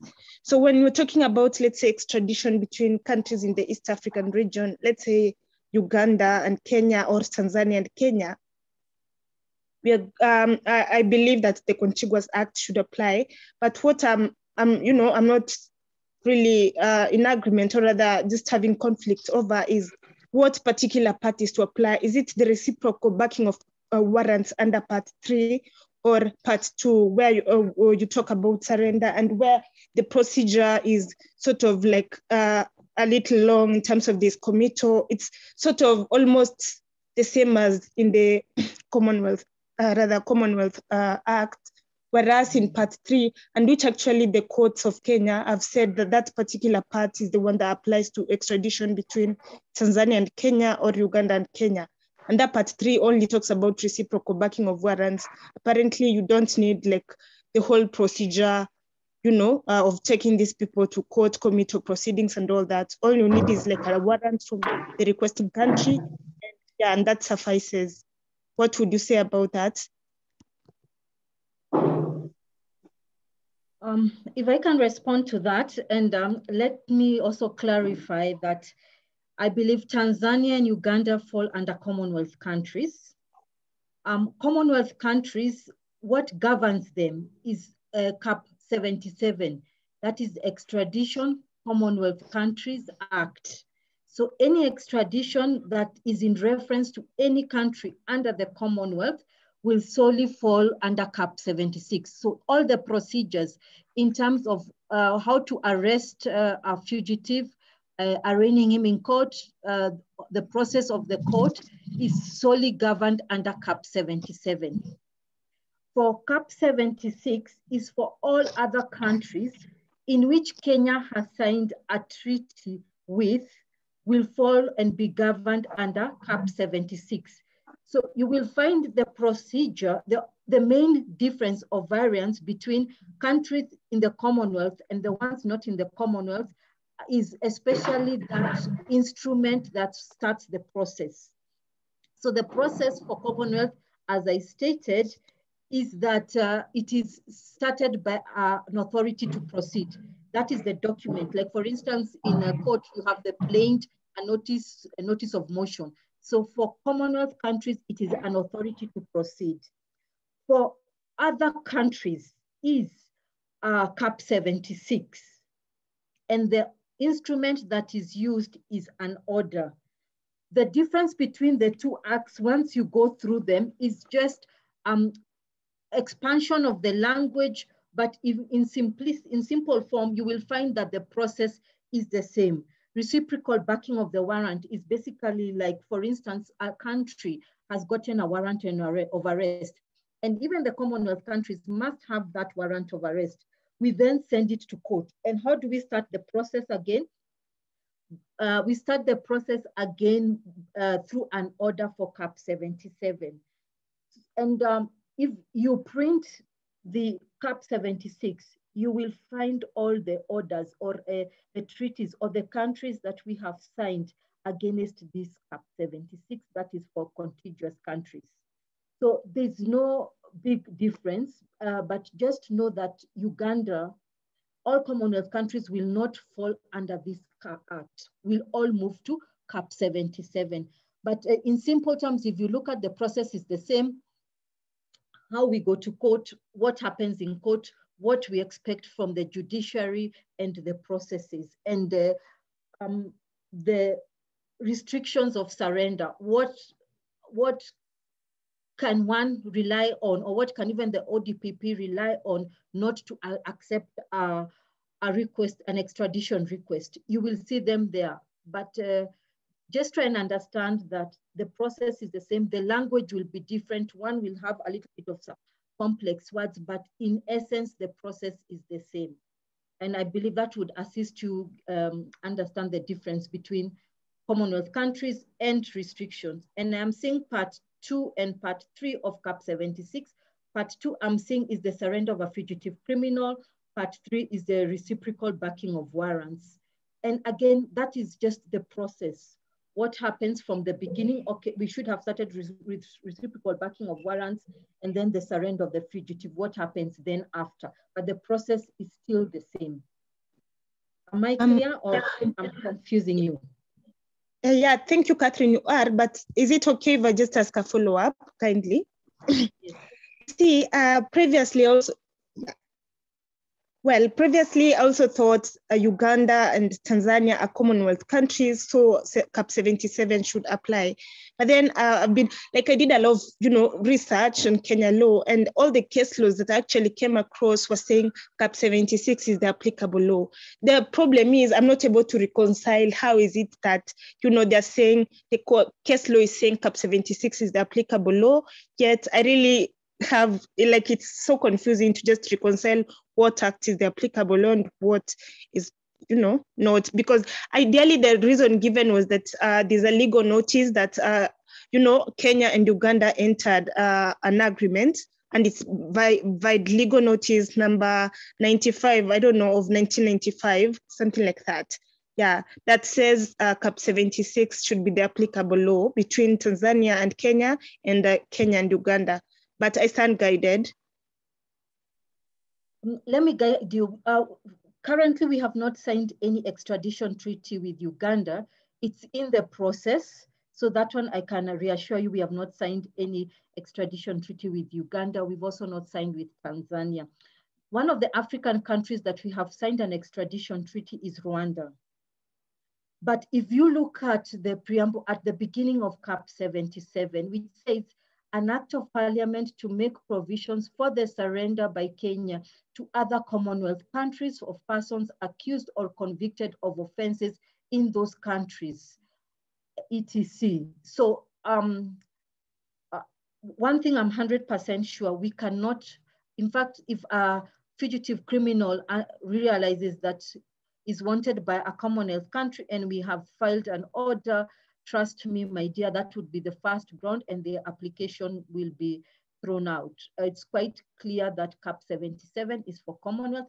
I don't know whether it, um, I will not fault the court because I've not seen those rulings, but uh, I, I don't know whether it is a typo or not understand because we've had instances of courts uh, also confusing CAP 77 and CAP 76 and at times we have raised But it's important that you understand that CAP 77 relates to Commonwealth countries only. All other countries must then fall under CAP 76. And we must sign a treaty with them. And behind this statute, you will see all the countries that we have signed treaties with. And uh, once we signed with Uganda, I will definitely let you know, but it is in the process. It's in the negotiation process. Thank you. I hope I'm clear now. Ah, yes, thank you. Okay, it's uh, another question from uh, Brenda Wangila. Uh, you mentioned the role of uh, government in Kenya. Can someone comment on the role of Attorney General vis-a-vis the Director of Public Prosecution, DPP, in reserving extradition requests? I will just mention as it is, as that is one of the issues that is before the Supreme Court in the Okemo Gichuru matter. Um, but uh, currently what is happening is that uh, extradition requests come from the Ministry of Foreign Affairs through diplomatic channels, and I am going as it is in the book. Um, we have been initiating the process in court. So the Attorney General will then uh, hand over the extradition package to us, we then initiate in court. Not something I should con uh, converse with because for us, we are of view, this is a criminal, um, it's a criminal, it's basically a criminal offenses offenses committed in other countries. Those are the issues that have been discussed in the Supreme Court. I don't want to delve much in, but um, another role for the Attorney General is once we get the extradition order, and there is no appeal pending in court or either through the application of a habeas corpus, and we are within the 14 range, the Attorney General then signs what we call a warrant of surrender. And that warrant of surrender is what the final document that gives Kenya the authority to remove someone from the country. So it is just not only the court order, but the Attorney General then must give the final warrant of surrender. And that is the document that is used by the foreign countries to confirm to their respective countries that this person was actually surrendered in court. So we have two documents, the order from court and the warrant of surrender signed by the Attorney General. But what we have been doing in court, the documents to initiate the proceedings in court, that is the authority to proceed under CAP 77 and the order under CAP 76 have both been signed by the, by the Director of Public Prosecutions and the Director of Public Prosecutions has been prosecuting these extradition matters in court. But as I've encouraged you, please follow up the Supreme Court uh, uh, application and uh, the ruling that will be delivered it was in court today, so you can follow up and see which case number. And then, uh, then a firm decision will be made on the exact role of the Attorney General and the DPP in regard to extradition. Thank you. Thank you very much. Uh, another question from Stephen Ikonyo. Uh, would the magistrate court have the jurisdiction to hear an application for orders in the nature of habeas corpus from the fugitive? Uh, Honorable Rading, you can take that one. Uh, yes, uh, for asking, I'm sorry, I just never got the last part of the question. Yes, would the magistrate would, would the magistrate courts have the jurisdiction to hear an application for orders in the nature of habeas corpus from the fugitive? Yes, um, from the way I know anything in relation to habeas corpus, that is a reserve of the High Court. Yeah, the court can only deal with that issue of extradition under the two statutes which have been mentioned. Eh? But anything in terms of habeas corpus, that is for the High Court. Mm, I believe that one is, is loud and clear. And Robert, just to, just to expound that, what happens in the order of a habeas corpus, once the magistrate's court uh, uh, agree with us that this person can be extradited, the criminal fugitive can then make an application in the High Court in each of a habeas corpus. That is basically what is provided in the statute. So the person then has to move to the High Court for other orders, and then they will deal with the issues on whether he can be extradited or not. And then it goes to the Court of Appeal. As Honorable Rading said, those are the levels of appeal. Yeah, yes, madam. So uh, you for what are the documents? I remember you said you talk about the documents that are required for an extradition. Uh, uh, documents uh, in regard to extradition, and I'm going to first start with Kenya being a requesting state. A fugitive is in a certain country. What we would require is the, the warrant of arrest. We will require the identification details of the fugitive for instance, his ID number, his uh, passport number. We will require his passport, uh, his photo, his photo, and uh, we will require maybe his passport details. We will require what we call the travel itinerary to confirm, because if we are making a request, we'll have to be making to a specific country, for instance, Uganda, we will need uh, to get the travel itinerary to confirm that he actually traveled to Uganda. We will require contact details or, and uh, as we do extradition, we both do, this is the formal way of doing extradition. We combine it with informal uh, cooperation where Interpol or other agencies would be able to ascertain for us prior to preparing the document that he actually traveled to Uganda and is in Uganda. And in Uganda, which particular place? Because a country can't ask us for a fugitive criminal in Kenya and not try and give us specific places. Is the person in Nairobi, Mombasa? It can't be general. So we do informal investigations prior to. So, and, and uh, basically we must provide evidence to show the, of the connection of the offense and the accused person. So basically what we do is the, put the investigative diary, we put uh, statements from the investigation file to prove that an offense was committed and uh, basically by this person. And then there's also the affidavit from the investigating officer to show that this person was being investigated on this uh, offense, a crime was committed, there's a warrant, they went to court on this particular day and they were issued a warrant of arrest. So those are the main documents we attach to our extradition request as we are seeking the extradition of a fugitive outside Kenya. Documents to Kenya, we will require similar things. We will require the extradition request itself from the respective country. We will require the warrant of arrest from the respective country. We will require identification documents and uh, we encourage again passport number, uh, phone contacts, uh, photos, because when we are to arrest somebody in Kenya, we need to know that we have arrested the right person. We will also need evidence to show what offense was committed. Again, we are trying to look at the criminality. We will need to show, uh, we will need them to confirm for us that this was not a, is not a political nature offense. And uh, uh, basically they'll also need to attach uh, ex, ex, ex, excerpts of uh, the, their statutes, their laws in Kenya, uh, sorry, in their respective country. And even for us in Kenya, when we are sending our request, we must, if it's a penal code offense, we must attach, we must need to know the, uh, the sentence. That's important to us because for us, we cannot extradite someone on trivial offenses. That one, one of the issues that has not been discussed here is that for trivial offenses, we cannot extradite somebody and we will not accept an extradition on trivial offenses amongst other things that have been mentioned today. So those are the main documents that we will require in, a, in an extradition request from other countries. Thank you. Yes, oh, uh, what are examples of uh, the trivial offenses? Trivial offenses, we call them almost some misdemeanors in Kenya. There's some, not all misdemeanors, but some misdemeanors.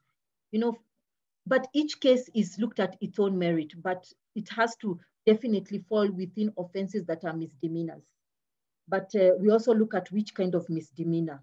But uh, trivial, because um, one of the issues the court also determines on whether to grant us the orders is whether it's a trivial offense. So for us, we have to ensure it's not a trivial, but it must fall under the category of misdemeanors.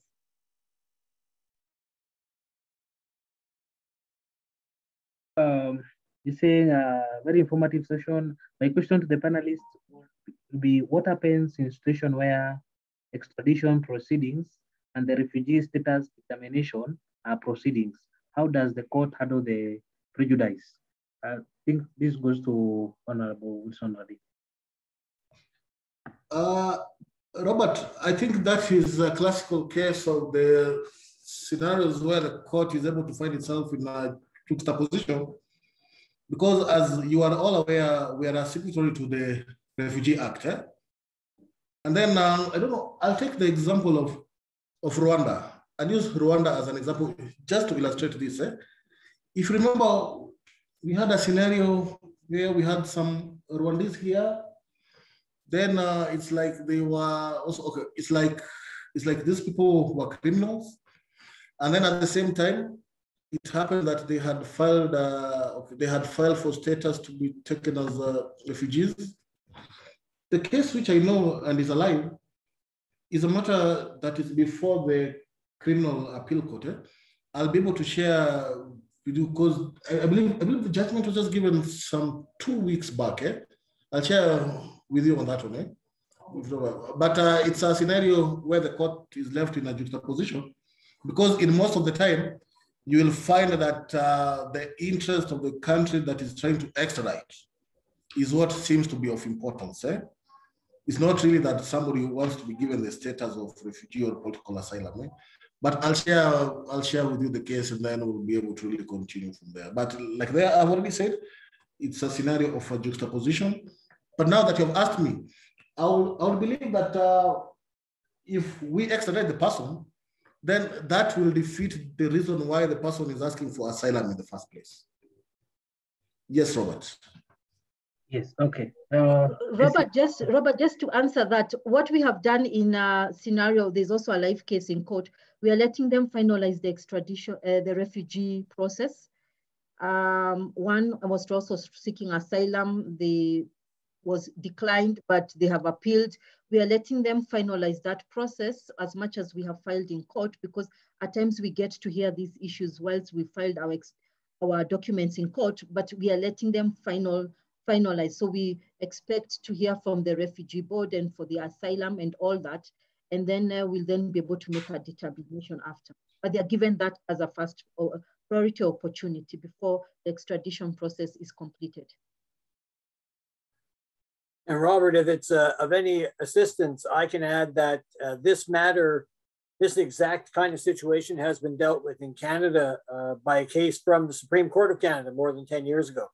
And uh, the situation, if I'm understanding the honored speakers correctly, the situation in Canada is very similar. Uh, the determination of the refugee claim takes precedence over extradition because the, and it's because of the human rights based nature of the problem that confronts the government, right? Which is you don't want to run the risk of extraditing someone back to the state that is going to persecute them from which they're they're you know seeking to be a refugee.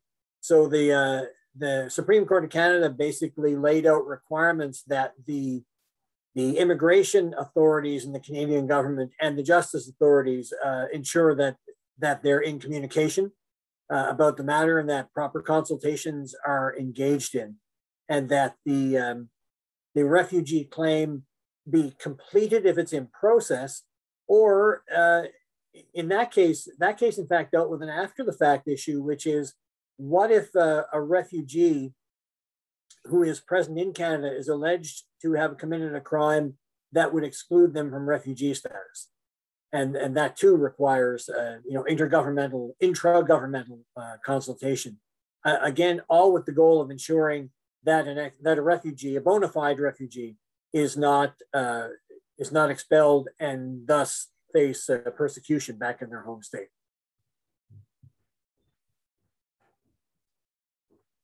Yes. Uh, okay. Yeah. So I can see two ads uh, raised. So we'll take these last two questions. The, the comments section, I'll take the questions. I'll post in my email there. I'll share the question with the panelists, then I'll reply to the emails. So uh, first we start with uh, Stephanie Ukonyo, ladies first then uh, to Mr. Um, good afternoon, everyone. Eh, I mean, good evening. I'd like to first thank the speakers for today. Um, it has been a very informative session. So I have two follow-up questions to what Ms. Catherine was saying um, on CAP 76 and CAP 77. There has been a ruling, I think I posted it on the chat. It's the Aliao um, Aliao Somo Abdi, it was in the High Court, and they said that um, CAP 76 is what governs extradition between Uganda and Kenya. So how do you reconcile that with what's going on in practice? And then the second question that I had was um, if the fugitive criminal is already in custody, I'm sorry if you've already asked this, but if the fugitive criminal is already in custody, so for example, if they've been detained by, let's say, the Ministry of Defense um, who are investigating certain transactions, transnational crimes that this person may have been involved in, what application does the ODPP make to the court? So do they ask for a production order? Do they ask for summons to the um, Ministry of Defense requesting for this person to be produced in court? Or do they still request for a warrant of arrest? Thank you. Um, I'm still trying to also reconcile with uh, what you have talked about but uh, again, if we have a clear statute on Commonwealth countries, and I've read for you what the Act of Parliament is all about, um, my advice to you is uh, move with CAP 77 for Commonwealth countries. Just move with CAP 77. Uh, because if you notice that uh, extradition are basically treaty based. And for Commonwealth countries, we hold on what we are calling the Harare scheme, the London scheme. And uh, we then do not need to sign extradition treaties with those respective countries within the Commonwealth because they hold on to that because they hold on to that uh, um, treaty. Um, if we don't have a treaty with Uganda, and that's, I'm telling you, we don't have a treaty with Uganda, it will then be difficult for us then to seek extradition, an extradition from Uganda, or Uganda to seek an extradition from us if they're coming under CAP 76.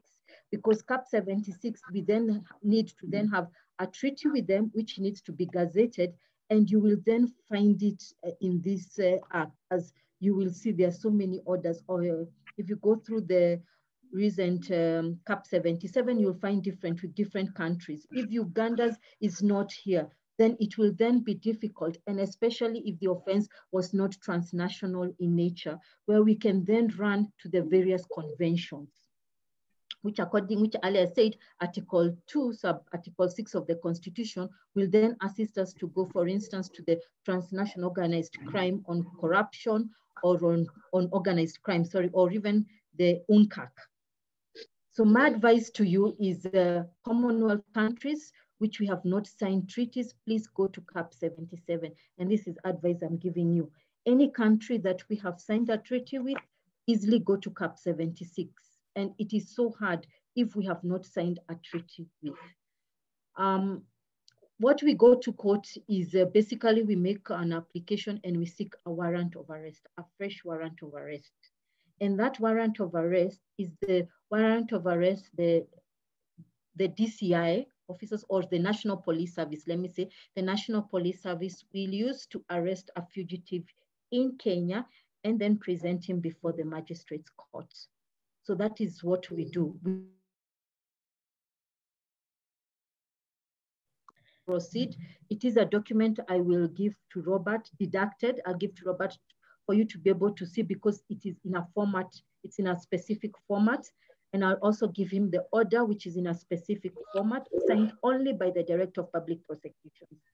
And then um, that document, we then put a notice of motion and an application, and we then seek for warrants of arrest.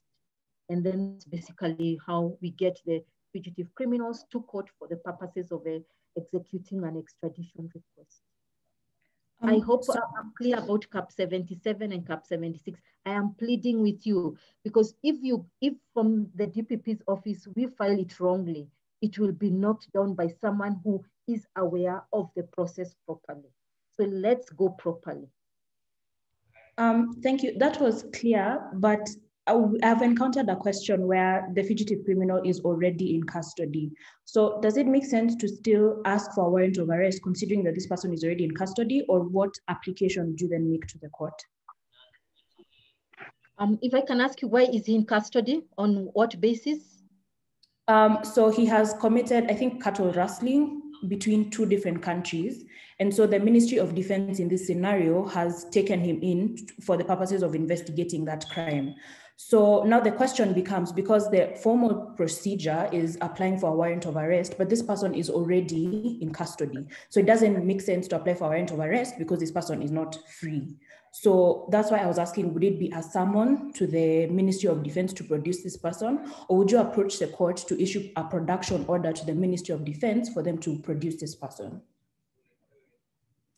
To assist you, again, once we get an extradition request, and I'll give you an example from Uganda, and we are satisfied, we file under a miscellaneous application, and basically we've been filing them in Nairobi. We file a, a fresh miscellaneous application, right? A fresh miscellaneous application. And we then, in that miscellaneous application, we then now seek, because this is a totally different matter from what he has been caught about cattle rustling because uh, unless we had initially gone to court under a miscellaneous application, arresting him, seeking for additional time under Article 47, 49. But for us, if we were not involved in that arrest of cattle rustling, for us, we have gone to court and told the court that we have received an extradition from Uganda dated um, 7th of October 2021. And in that document, there is an, an, a warrant of arrest from Uganda. In the, it is a fresh matter, it is a new matter before court, and now we'll file it in the Milimani law courts.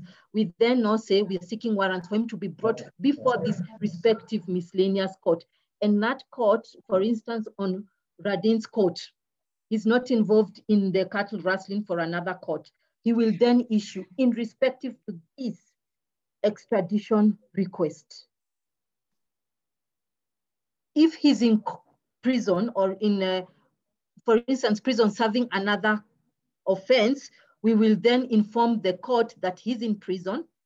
We are therefore asking for production orders, for production orders, for him to be availed for this particular one. But remember the cat rustling, if the DP, if we, for the extradition docket division are not involved in it, it would be so hard for us then to seek for summons for him to be availed. And yet remember it's reciprocal backing of warrants. Already we have a warrant from Uganda. We need to back it up and we'll have we'll back it up by having this other warrant that will be issued in this respective court, for instance, in Rading's court. So to make it easier that way, then that that that that is how we proceed. Thank you. Finally, we Ali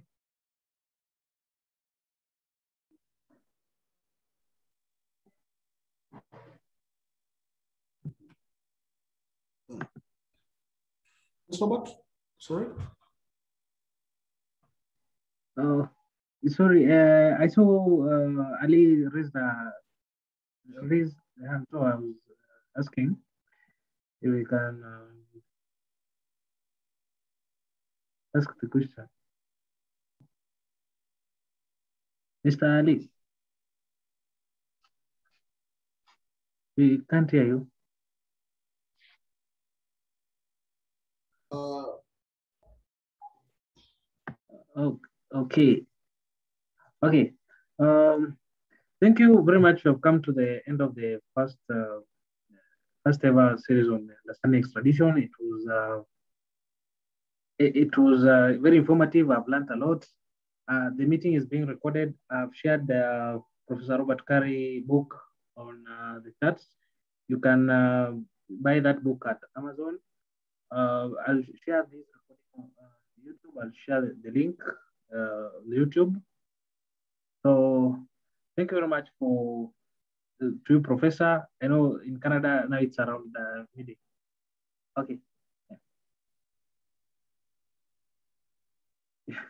it's, it's around uh, lunchtime. Um, thank you, Honorable Son Rading. Uh, thank you for taking your time to come and participate in this uh, first ever webinar on understanding of uh, extradition laws. Uh, Madam Catherine Mwaniki, uh, we are very grateful. Thank you for your time. Thank you. Thank you very much. Uh, Mr. Steve thank you so much for also attending. Uh, Jesse Saruni, thank you for your commitment. Thank you for your support. We could never have done this without you. So uh, thank you, everyone. Thank you for those who attended. Uh, the link will be on my YouTube channel. I'll share my email on my chat. Uh, any question, I'll direct them to the, the panelists. Thank you very much. You have come to the end. Bye. Thank you to your Chair, and uh, host another one, and please invite uh, all of us. Thank you.